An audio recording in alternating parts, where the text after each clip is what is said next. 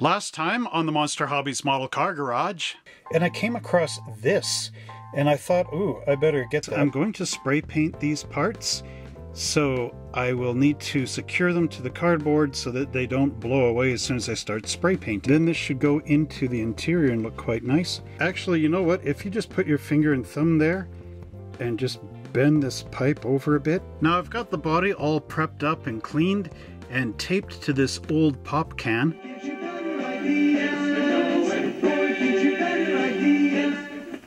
And now, on to the show.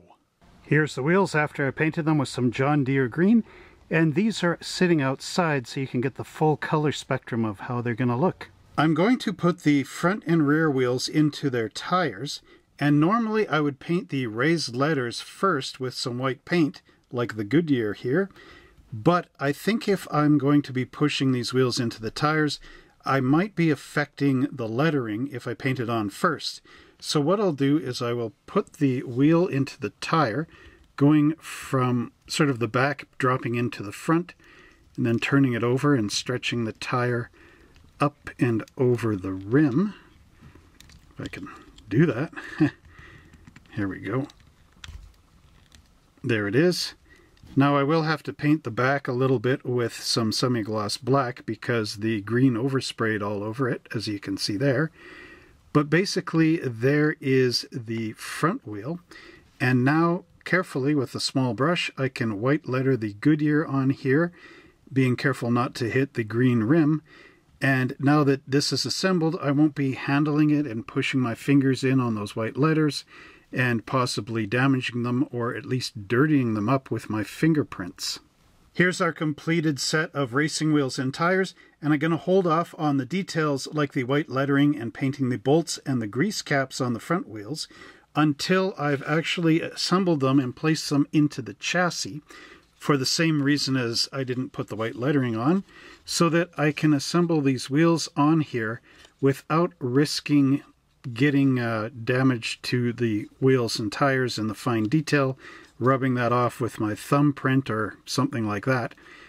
And uh, it also gives me something to hold on to while I do this, which is essentially the chassis pan itself. So that will help steady my hand for doing all that nice detail work. Now that the paint on the wheels have dried and I've put them into the tires, I can begin to assemble the chassis and get that ready for our NASCAR. Here's the NASCAR chassis after I finish putting in those pipes. Now you remember before where I was showing the stock factory pipes and I said to chop them off about here and then put on the dumps. Well, that's what I've done. However, I did notice this is a little bit strange in here as one dump is coming out a little further back than the other.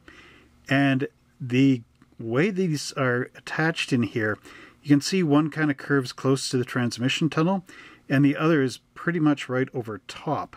And yet at the ends, they're the same distance. I didn't get them into the uh, rocker panels on the sides.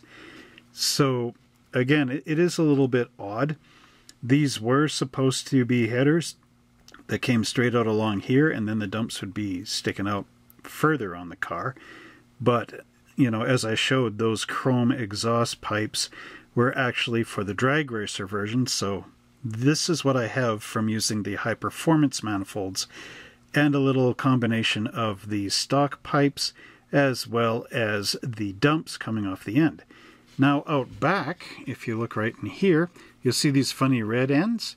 These are your rear brake coolers, and there is this bar over here too.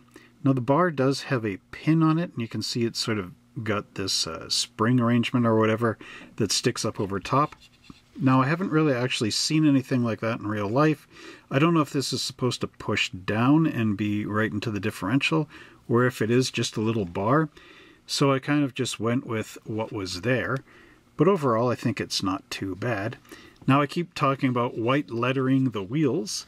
I haven't actually done that yet because I've also got to put this in the body, and then I thought, well, maybe I might get in trouble doing that. But I did add in the uh, little grease cap there, as well as the six lug nuts. Painted those with the steel when I had the exhaust pipes, and uh, I thought that was a good time to do that. The only uh, thing that's kind of odd is you can see in the center, oh, in the center of the tire, See, that's how durable this is. It can flip over, take a beating, and keep on ticking. anyway, take a licking, keep on ticking. But you can see it's uh, shiny right in the center of that tire. That's because I couldn't sand it down all the way, but uh, I had to take what I got. Overall, though, I am quite impressed with this, and the pipes are up so high that this can actually roll without hitting them. Here I have the factory stock undercarriage on the top and our NASCAR modified undercarriage on the bottom. And you can see the differences right away. You have the factory stock engine, and here you have the high performance engine with the sump pump underneath. And there's our exhaust pipes coming out, and here they go all the way back into the mufflers and the tailpipes. Whereas on our NASCAR, they just go into the dumps. And then we have the oil or the air brake coolers on the back. But over here there is nothing. Overall, though, you can see how well the chassis look in the different configurations. Here's a dashboard for our Cobra kit, and I did try to paint the gauges in, but my eyesight is not what it used to be, so some of these may look kind of terrible. I'm not too sure, but I did make that attempt, and I left that little insert panel with the uh, satin black as well. All I need to do is clean up in here and then glue the steering wheel in. Here we have our finished NASCAR interior, and you can see just how cool this now looks with the dashboard, and I added in a little red onto the gear shift lever, little red ball right there. You can see the great uh, roll cage and frame and even the seat. Sort of has a Star Wars look to it in the black and white, sort of like a stormtrooper or something. Now I did tilt the dashboard up just a bit so that the uh, steering wheel is not sitting right on the edge of the bottom of the seat down here. But overall, again, you can see just how nice it is with the cool looking roll bar and the dashboard and the gear shift lever as well. And comparing the interiors, we have the stock interior up front and you can see the stock dashboard, stock steering wheel, center console, and the two bucket seats, as well as the rear bench seat. And it's quite the contrast compared to the racing version, where all these seats, except for the driver's seat, are removed. And we also have the center console in here with the chrome gear shift lever going straight into the console down below. There is no T-handle like in the stock version. We also have our safety steering wheel which is padded around the steering wheel ring and the horn button. And we also have the upgraded dashboard. This is just a simple flat welded panel style dashboard for racing, which is lighter than the factory version and also has the racing gauges all inside. The door panels would be basically removed. The upholstery part of the door panels would be removed from the stock version into the NASCAR version. But because this kit isn't really designed like that, I just left the inside all painted white as if it was steel and then was painted white as opposed to the upholstered interior over here. Now, a guy like Pete would add in the armrests and the window winders and the door handles to get in and out, as well as winders for the back window that would go up and down, which is really cool, but I did not get into that in this kit. Although a person can with some sheet styrene quite easily. Uh, I'm sure Pete will make a video, so watch out for that one. But over here, you do have the NASCAR, and it's almost like with the upholstery pattern, it's like there's little raised bars that are going across. So I guess that would work for um, maybe some kind of uh, reinforced uh, stainless ribbing or something they might have put in there. Who knows? But at any rate, I like how both of these look once they're all built up. How about you? Let me know in the comments below which is your favorite, the factory stock or the racing version. Now I think we have pretty much everything ready to go with the undercarriages done as well as our interiors here. So that leaves basically the bodies. So uh, let's see what it looks like when we start with the NASCAR. Here's our NASCAR body after the first coat of white paint. And you can see that it does have a bit of orange peel in here. It was a hot day and I had issues with the Tremclad spray can because the nozzle jammed and I had to drill the hole out while this thing was half painted and uh, that's never a good thing. Now we'll take a look at our painted body in a little more detail. And one thing that I noticed is when I was painting this actually, something flew right on the body because I was painting this outside, landed right on the roof right in here. It's like a raised little speck of dirt or something and it's really annoying. The other thing was I've got a lot of orange peel in this, especially right along this side of the body. I don't know how well you can see that, but I can really see orange peel. Now, one thing I'm thinking of doing here, I was going to sand it up a bit and then apply a second coat, but I really want to get this thing done. And uh, yeah, I know I should be more cautious. But what I'm thinking is, this is a NASCAR, so or a race car anyway. So what I'm thinking is that you know they wouldn't have gotten it or they might have got it out of the Ford factory in white and then start modifying it. But as they modified it and removed trim and all the rest, they might, you know, be damaging the paint, the original paint from Ford. And they might just decide to repaint the whole thing. So what I'm thinking is just leaving the overspray in this. I know some people are going, I'm kind of going too, but uh, remember I was saying I'm going to put on the factory or the AMT decals on the side for the Street Machine one. And I'll take a few pictures of what that looks like. And then afterwards, I'm going to add in NASCAR numbers from another kit that aren't in this model just to uh, get it all race car looking, you know, because there were no race car numbers or any of the sponsorship decals for the fenders or the back or anything included in this kit. It was just those stripes and the license plates and the air cleaner decal, which isn't really that accurate, for the uh, um, Cobra version. And of course, this is the Torino. So, like I'm saying, you know, they uh, built this car and they painted it in a hurry for race day, and they got overspray in here and they just went, ah, the hell with it, put on, or the heck with it, put on the uh, stripes, and away we go. And the other thing I want to do is I want to actually add a two-tone in here because I was looking at some of the NASCARs of the day and these Torinos, they had a really wicked uh, two-tone and it just went on the roof.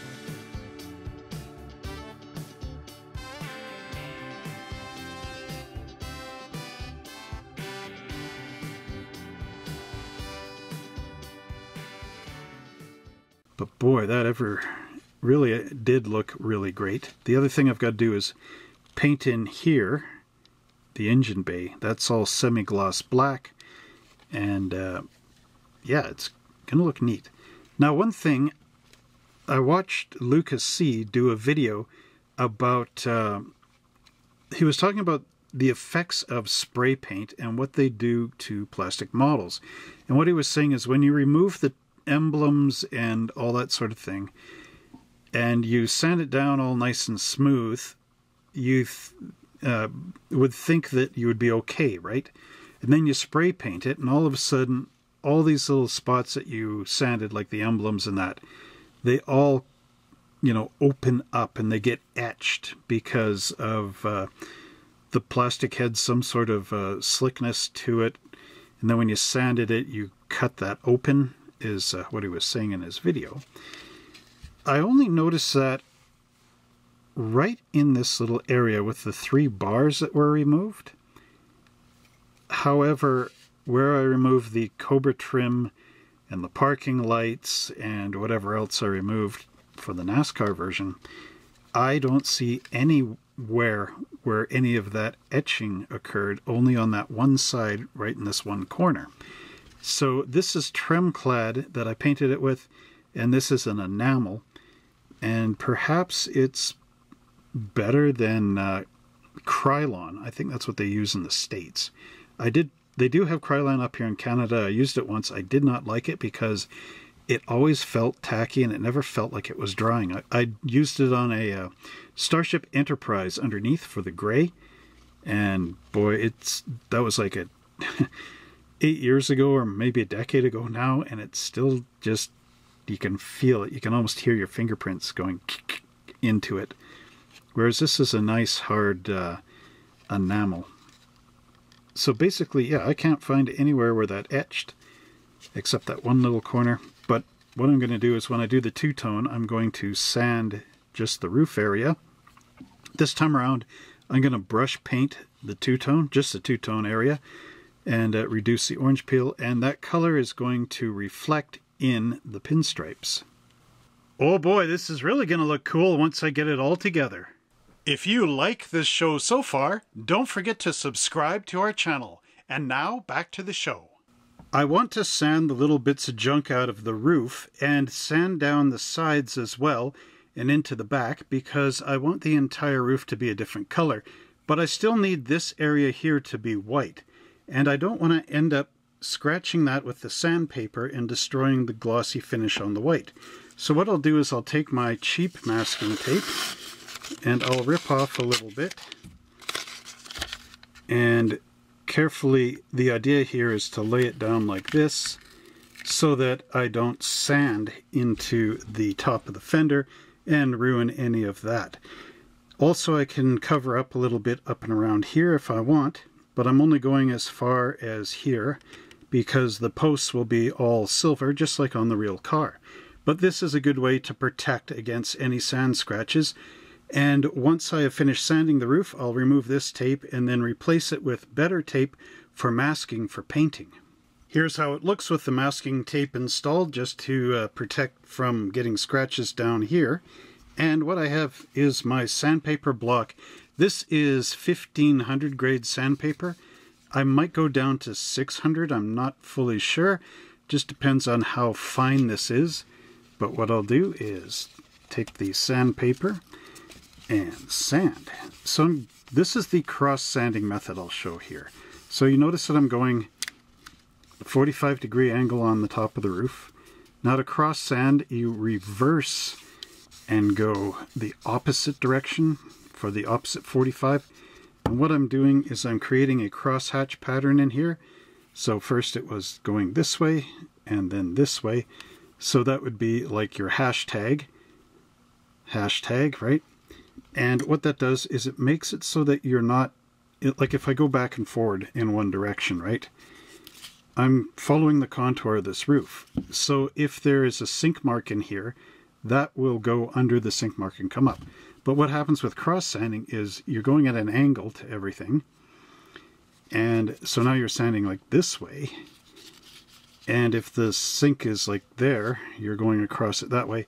And then to cross sand the other way, you're cross cutting it. So that will flatten it out. Now on here, it was a little piece of junk that got on there. But I don't know if you can see this or if it's just me. but at any rate, now this piece of junk is actually nice and flat just from the simple cross sanding. But it does require a bit more. Also, you can get rid of the orange peel in the paint by cross sanding. Orange peel is when you paint something and it looks like an orange peel. Now the other way to cross sand, of course, is going like this, left and right, and then up and down, or north and south, east and west, instead of at the angles, northeast to southwest, uh, you know, whatever. Okay, now that is looking better. The other thing to do is to wet sand this, which would be getting your sandpaper and water, and then doing that, because as you can see, all these little white dots, that is the paint plugging into the sandpaper. And you don't want plugged up sandpaper, you want it all to be smooth. So using water and maybe even a bit of soap and water helps to remove those as well as keep a nice barrier up there and keep the sanding um, power of the sandpaper, the cutting surface, nice and free of debris.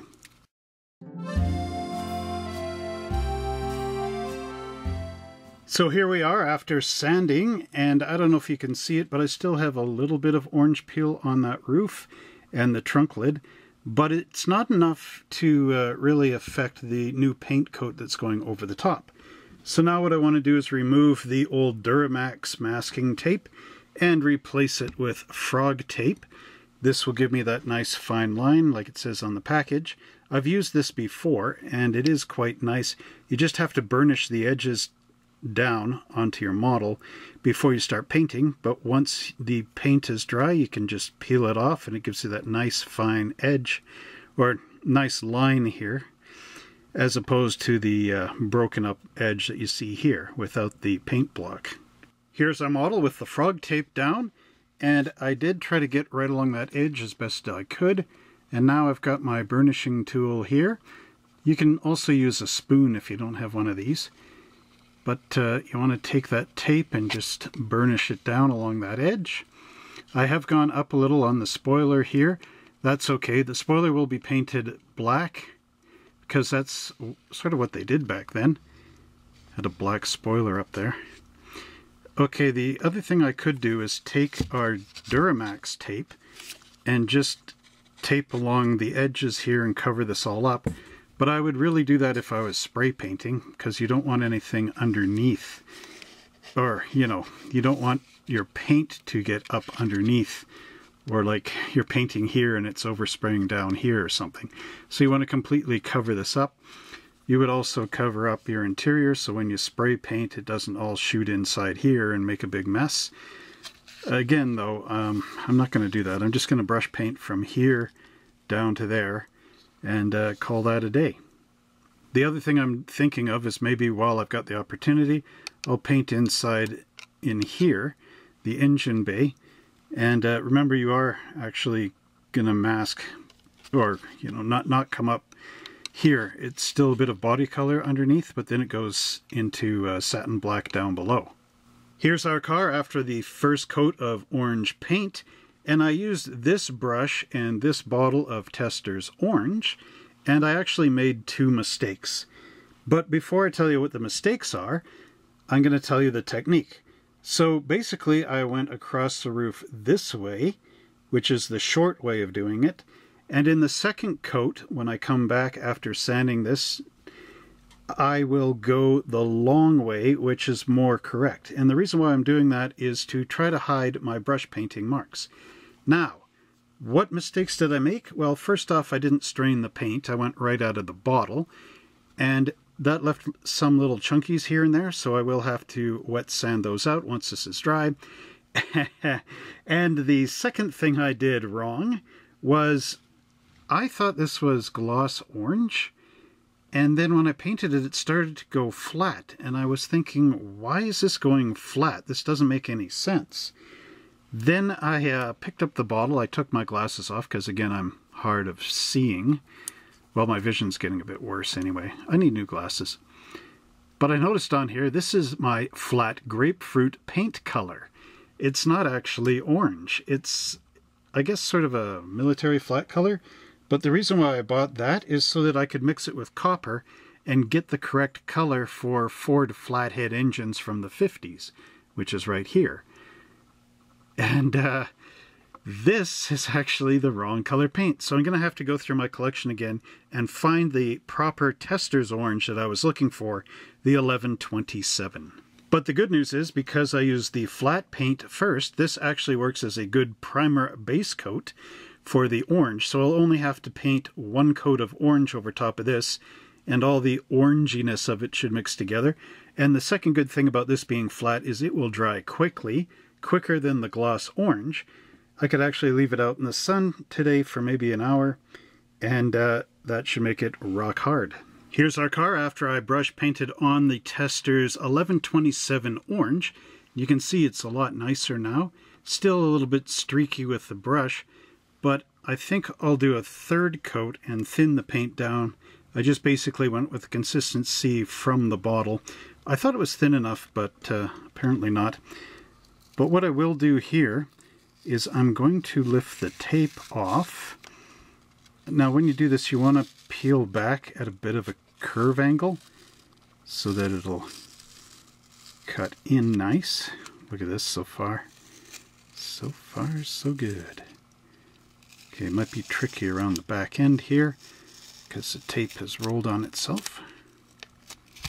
Ooh, okay, there's the first one.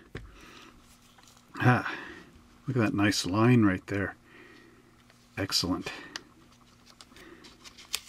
Now when I put a second coat on, I'll have to put new tape on. That's okay. I think another thing I might try to do is just get a black pinstripe right where the orange touches the white. Let's see what that looks like. We tie in with the spoiler being painted black. there it is. Look at how nice this is now. it's going to look good with those uh, orange and green um, stripes going up the side. Again, really excellent work here. It's nice to get some color on this. That means that I'm almost finished. Like I said, I just got to paint the black in here and uh, paint the spoiler. Now I might also go in and just paint the area right here with the orange in the back. But overall, I mean, this is looking good now. I like that orange color. Like that, uh, well, just the color of it, you know, the, the, the hue. I like the hue of it. Now just to get a little idea of what this would look like with the decals on, I've taken the decal sheet, at least one of them, and I cut the top off right along the black trim line just so that I could do this.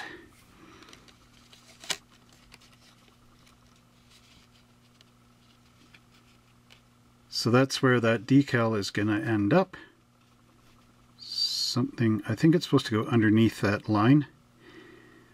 So I'm going to have to cut a little away in here around the wheel arch. But overall, I mean, there you go. That's sort of what it will end up looking like. So I do think that orange roof really complements there. And then with the green down below here, those wheels are also going to be green. So again, this should look really, really good. And then I can always put on, like once I get these decals down, I can always put a number right there on the door that would go and basically go over top of this section in here. Although I don't know, maybe I shouldn't do that. but at any rate, I did build this to be the race car and not the street machine. But that would that would be the street machine with an orange top if you use these decals down below. Here's our car after adding in the Tremclad black components. Now I still need to paint the radiator, but I need to do that with a satin black or even a flat black, just to make it look different in here. I just saw Pete's video where he did some upgrades on his car, and he did get rid of the posts and uh, left that area flat. But what I want to do here is just leave the posts because I'm building this as if you bought it out of the box and you're just trying to get the kit to fit together properly. So that's why I'm leaving mine in, but I will agree with how he did his. The only thing is I would cut a plastic card to shape of here and here, and then something for the inside, just to blank out the holes that he left in there.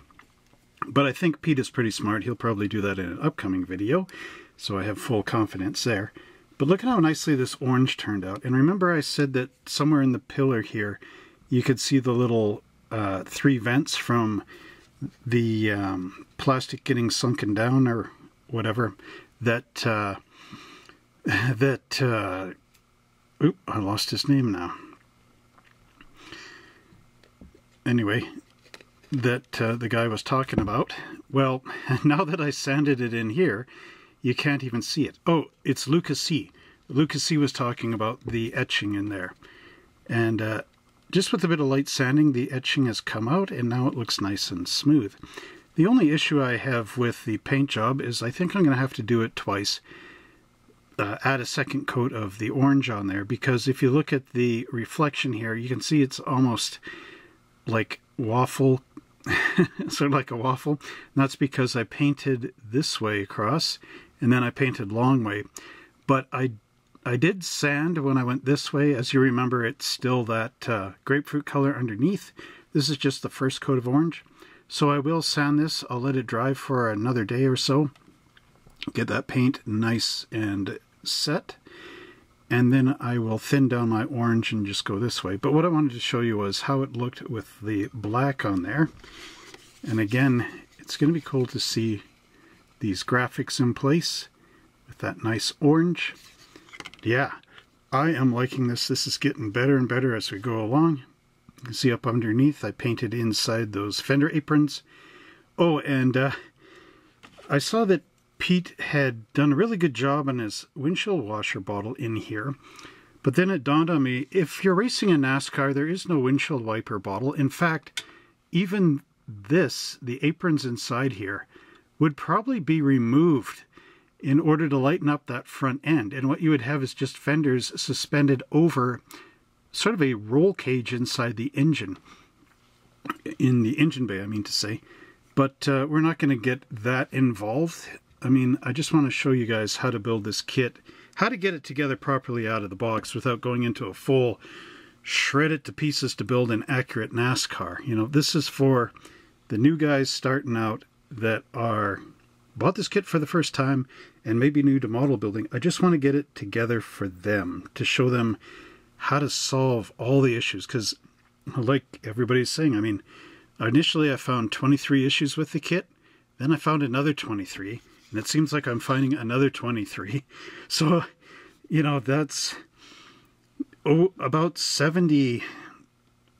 72 or 3 issues with the kit. So let's solve them first, and then we can get into doing a whole new video with a whole new model of this model and detail the living heck out of it and actually accurize everything. But for now, let's get it together. Here's the car in a bit of a mock-up phase. I haven't glued anything together, and you'll notice that the body is sort of uh, sloping backward and hanging more on the rear wheels. That'll actually get fixed when I glue the front to the chassis. As you can see, it's just the weight of the body that's causing it to slope downward. Once it gets glued up in the front, it'll pull this all straight. And then it'll sit at the proper height that I wanted and have this level with the ground and not sloping back. But you can see that I added orange to the headlight covers up here to go with the theme of the orange roof. I'm almost debating whether or not to paint the uh, cowl and the hood orange just to have a big orange streak go right over, but I don't know, maybe that's not going to work. You can see the uh, John Deere green wheels down below. They look really dark, but they're actually quite bright. Maybe I can manipulate the lamp here. I don't know if that's doing any good for anybody. anyway, okay, so they are a kind of mid-dark green, kind of light. But you'll notice that on the decal sheet, right around the wheel opening, you have that dark green just along the bottom, then a darker orange and a light, almost yellowish orange. Now when we put our decals right against there, uh, how well can you see this? There we go. How can I bend it around? You will see the uh, green stripe down here that matches in with the green and keys off of the green of the wheels. So this will look really good once it's all together. Currently, though, you could call it a roaring tribute to Ireland because it's the same color as the flag. You got the orange, the white, and the green. Next week on the Monster Hobbies Model Car Garage. After a day or two, I started considering whether or not to sand the top down and repaint another coat on there and make it nice and smooth. In order to apply our decals, I have the following tools. And what we're going to do is submerge the decal in water. Actually, not really submerge it. I'll show you what I mean in a minute. All right, so here we have the car body. And now we'll just move that decal into place. Now we get into my favorite part of the build, and that's the part where there's only a few pieces left